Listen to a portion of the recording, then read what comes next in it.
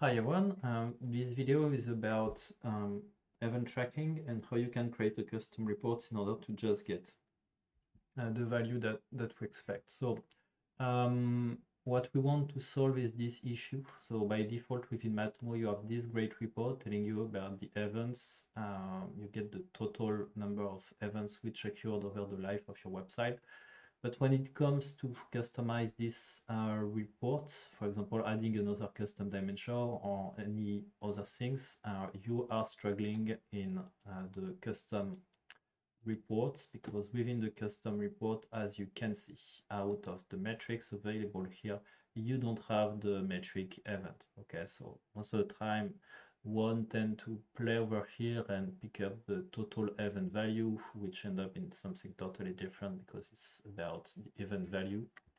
And the idea is to see today how we can fix that out. So um, let's uh, let's see. So we have a website over here. In this website, I'm in fact measuring uh, different tags. I'm measuring click event tracking. I'm measuring scroll tracking. And the idea is how to create a custom report in order to just isolate this one by crossing it with with a dimension. So uh, let's uh, let's get started. So I'm having my website over here. I'm performing some uh, actions. So let's say I'm going to click here, so it's going to fire some clicks. I'm going to scroll down, so it's going to make a scroll. Um, I'm to maybe go on another page. Oops. Okay, I'm to scroll again. Uh, I'm to click uh, here. I'm to click here. And um, at the end of the day now, what I want to get is just the number two. Okay, I just want to get a custom report saying that I got two scroll and I don't want to get the, the clicks. Um, so if now I look back within my data, it's what I'm gonna have. So for the day of today, so let's pick up the day of today. I'm having all those uh, interaction. As you can see, I'm getting my two scrolls here and I don't want to get all those, uh, oh, by the way, I have another one here. Uh, so I want to get one, two, three, uh, four, five, okay, scroll a lot, uh, and that's it. But I don't want to get the other events. Okay, so uh, let's uh, let's go for it. So I'm gonna pick up this uh, value over here. I'm gonna create my custom report. So manage custom reports, and I'm gonna create.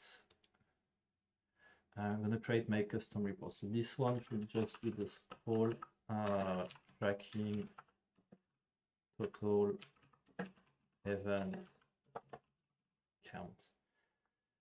And um, I need to pick up, so in my case, that was the events, um, I think it was the event name, which was carrying the value scroll, oops. So event interaction scroll scroll. So I could have picked up either the name or either something else. So, okay, I'm just to pick up the name, that should be fine and here uh, just gonna take like the hour okay so just to let you know hour uh, why am I doing so uh, the idea is to show you that yes you can create uh, a custom report based on event with different um, dimensions and here in the matrix and this is where the matrix happen you need to select hits okay uh, by the way I could as well go for we saw that was the total events. I think here total events probably will be equal because that's I'm the same visitor.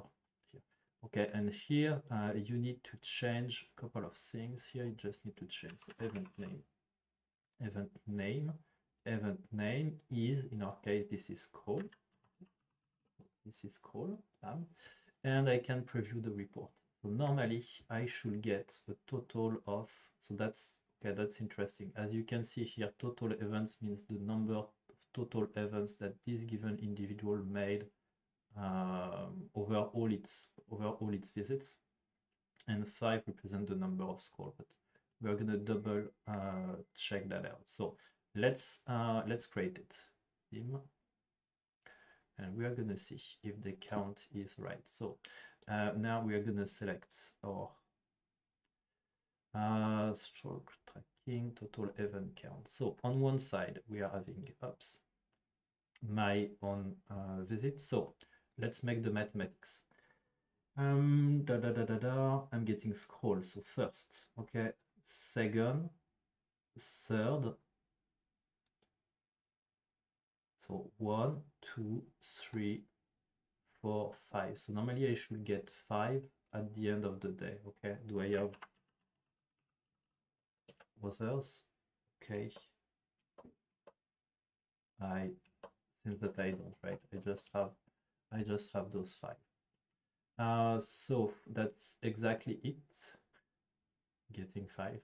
And the total events, so number 14, so for this given, in my case, uh, individual, I should get 15 events. So let's make the mathematics. 1, 2, 3, 4, 5, 6, 7, 8, 9, 10, 11, 12, 14, 15, 16. So either I'm not good at maths, I'm gonna calculate it again. 1, ok, 1, 2, 3, 4, 5, 6, 7, 8, 9, 10, 11, 12, 13, 14 et 15. So 15 uh, in total.